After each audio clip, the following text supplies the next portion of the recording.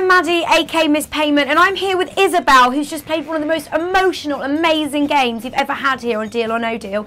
Isabelle, I mean, how are you feeling about all of this? Oh, I still cannot believe it. I'm shaking like a leaf. Honestly, it's so unbelievable. So how does it feel to have won a whopping £35,000? Oh my goodness, unbelievable. 35,000 pounds. Mega money. Can you imagine? 35? No, I can't. I've never had it.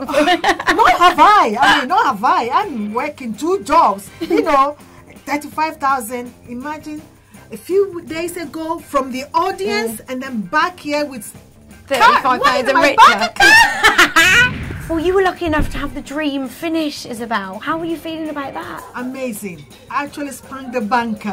you know, the dream finish was fantastic. So you've had an amazing journey. Did you ever think back in Ghana that this was going to happen? I mean, tell me about your life. Tell me about your journey here. Oh, not in my wildest dream. You know, you, you hear people talk about dreams and everything. You never think it's going to happen to you. My journey actually started way back in a little village in Ghana mm. called Peki when I lived with my grandmother. Yeah.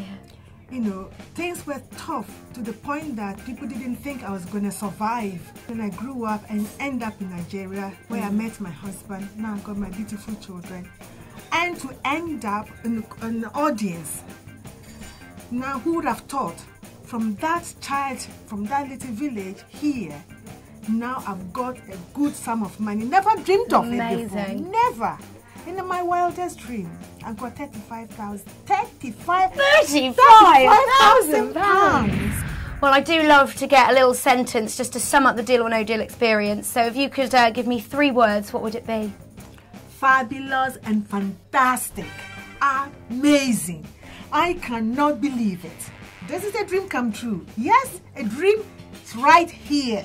Well, from pilgrim to contestant, Isabelle, you have literally stolen our hearts. Thank you so much and well done. Hope you enjoy the money. I will do, and thank you so much.